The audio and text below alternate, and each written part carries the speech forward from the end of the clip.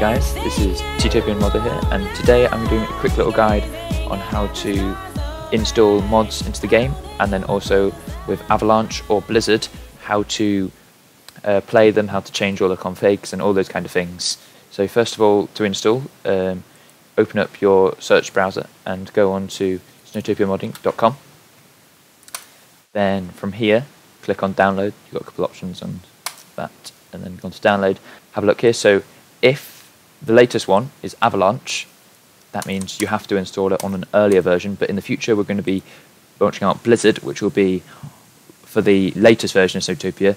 So this next step you'll just be able to skip if you're installing Blizzard. But for now, if you have Avalanche, you have to downgrade your Snowtopia version. So open up Steam, right click uh, Properties, and then go to Betas, and then click on the mod compatible branch. And as I said before, this is only if you're installing um, Avalanche. Uh, don't do this if you're trying to install Blizzard. So once you've downgraded and it says 0.15.09 mod compatible, or you just skip this step, come back onto the wiki and uh, just download. You can download the latest version here. So um, this is where the latest version is, and on here you can just find more information and you can find other versions. But we'll just go with the latest version for now, which I have open just over here. Let me just press download. Okay, so it's downloaded now, so I'll open it up and firstly let's just extract it.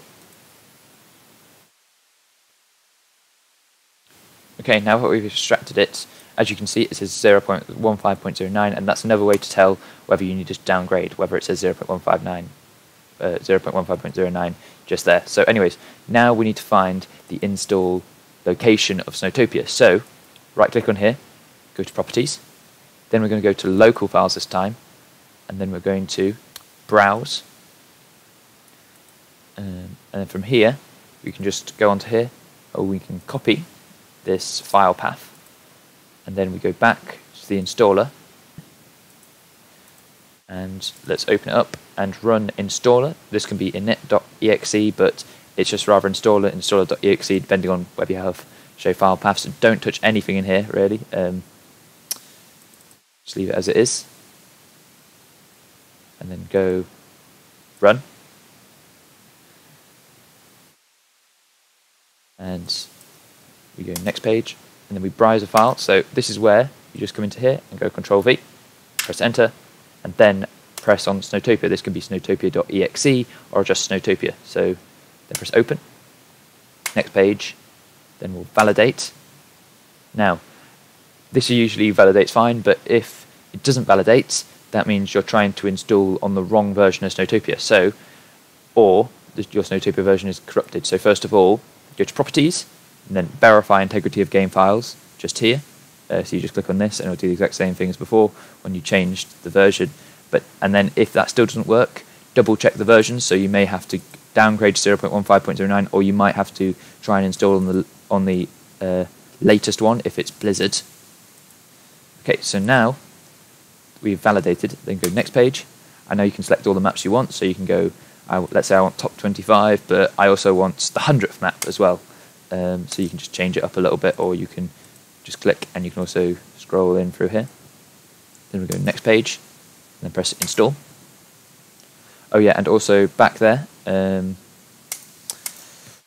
back there there was an option, but um, I'll just go on to here. So if you want to actually uh, browse all the maps, you can go to snowtopiamodding.com and go press Explore Maps, and then you can try and search for a specific map. So let's say I want La Rosière. Just search for that, and here we go. We have the La Rosière map. Or let's say I want to find what's the most rated map, and it'll be here.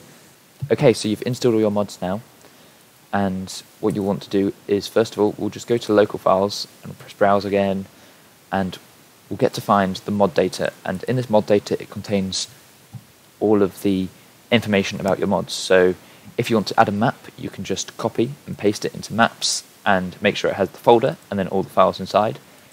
Or you can go into mod data and we can open up these configs. So these will come up as basic.config or basic balance. Anyways, you just press show more options or you can just press open with notepad. And then, so here are the configs and they'll look like this to begin with, but you can enable and disable features. So let's say you want to have cheats in the game, or you want to change the amount of workers you start with. So, um, so zero equals uh, false and one equals true in most cases.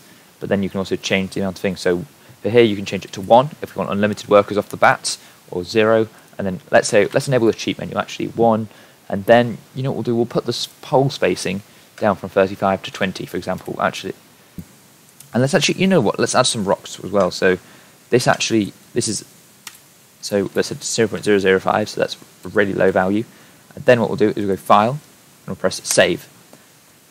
And you've got to do this before you load the game. It doesn't work after you load the game. So now we'll go back into Snowtopia, and we'll press Play. And we'll load it up. Go to the new game. As you can see in here, all our maps will come into here. So if we scroll down, um, this may take a long while if you have a lot of maps into the game. Uh, we, are thinking about maybe doing something about this in the next update, but um, if, if the game starts freezing, just hold on and it will it will appear at some point. So now we go on, we on to actually my favourite map over here is probably Ho. So let's go into here, press new game, and we'll load it all up. Starts off like this. So as you can see, we have the rocks, which we enabled in the config. Usually this map doesn't have any rocks at all, but now it's got a nice little amount of rocks on some of the slopes, which is quite nice. So first of all, we'll open up a builder's lodge, just next to the resort. But actually, the problem with these is that they actually have a negative impact on the uh, skiers. So if we open up the appeal menu, you can see that they just look a bit ugly. But there's a way we can fix that. With the mods, you have access to something called the nav tool. So the nav tool is basically like a tool that you can extend out these areas where the skiers can walk around. So for example, you can extend out this area, so you click first point, second point, third point, fourth point, and then press enter. And as you can see, it just extends it all out. But you can also build stuff off it too. So we want to build all these out the way of our ski area. We can build a nav tool all the way over here. First, second, third, fourth, and you can even add fifth points, for example. To make it more like this shape. And then from here we can, we can build more builders lodges if we want. And let's build a few snow groomer hangars. Build the game too. A few snow groomer hangars. We'll build, we'll build two of them and a, a builder's lodge. Mechanics. No, yeah, mechanics workshop. As you see, that has a huge negative effect, but it won't affect our skiers because it's out of the area. Now we can build. Now I'll show you how to build turns. So Let's get our two-person fixed grip chairlift. Build it up to here and build it like a normal lift. So this is where I want to come to here, but then I want it to come up to the top here. So we can come up to here. We can press it. Then we extend it out further. So we've added a point there, and then we can extend it out to here. As you can see, we've got a really nice little cool turn just here. So the lift will come in through here, turn around, and now let's add some slopes. So now we can see the other config value we changed, which was the slope poles, and you can see the slope poles will be much further together, much closer together. I mean, um, and it all gets built. So as you can see, there's the lift built, and you can see see the turn working really nicely here. And you can see all these poles are really nice and close together. So, skiers will start to come onto this lift, especially blue skiers, because that's the only trail we've built so far. We can also build a green trail around here. Oh, and that's another feature I can show off. So, go around here. We build a trail. Now, usually in the ordinary game, when you come up with a trail, you have to join it. But like, what's the point in joining it? Because a green skier would never want to go onto a blue slope. You can just have it cross it without actually having to join it, and it won't split up any of the slopes. It will just keep it nice as it is. Then here. As this gets built, as you can see, all these poles, you can see clearly which slope's which. So that's the green slope and that's the blue slope, and the poles don't collide with each other. Now, another feature we can there is is um, the cheat menu. So let's have a look at this now. So actually, you know, I maybe I would have wanted to unlock all the researchers and just play as it is, but I haven't enabled sandbox and I don't want to reset the game. So you can just press I to open up the cheat menu, and there's so many things you can do in here. You can unlock all these uh, profiles and do all these things, but what we can do is we can just lock, unlock all researchers. Press common there now if we go on to the builders menu, we have all these huge lifts and we can make all these cool things. So all these different lifts have different things. So these are gondolas and chairs mixed together. We also have the magic carpet now, or I think we had that at the start. This is actually a really OP lift. It's just a magic carpet. Um, although avoid placing this on modified terrain. So when I say modified terrain, I mean you can, as you can see, this is a flat area. It didn't used to be flat, but as you can see, it tries to follow the terrain before it was modified. It's the same with this area too, where we flattened it out with these buildings. So you just want to place it on more natural terrain, such as this. As you can see, place it on here, it just hugs the landscape nicely. And the problem it snapping onto here, as you can see, it doesn't quite fit onto here. So the problem we need to do is we just need to connect it. So we can use a nav tool and press one point here, another point here, another point here, another point here, as you can see, it connects it up into the resort. So that's the one thing you have to be careful of with magic carpets. And oh, and so another feature we can do is let's say on this map we only have one snowfront, but let's say actually I, I really want to start from down here. Look at it, it's very steep. So, for example, we, all we have to do is we just have to press, we have to go onto the prop menu, snowfront, and we can open it up, and then the side with the arches is the side where the snowfront appears, so that will just be towards me here now we can build, let's build a super fast 3S lift from here. And we'll build it from the back side here. And we'll build it all the way up to, let's say, this point here. As you can see, it will build this huge lift that's really cool. And it has a huge capacity. This is probably the biggest lift in the whole game. And then we can build a 60 meter slope from it. Look at that, that's, that's huge. Good slope. That'll take us all the way down, straight back into the village, just like this. It's huge little slope.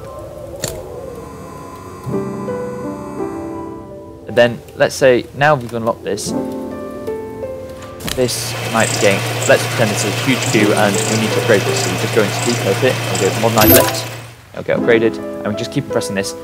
Do note that if it has a turn, you cannot, as you can see, this will only stop at the four person fixed grip chairlift because this because turns don't exist with detachable chairlifts. But if we build a straight chairlift, so if we build four person straight chairlifts, just like this, without a turn,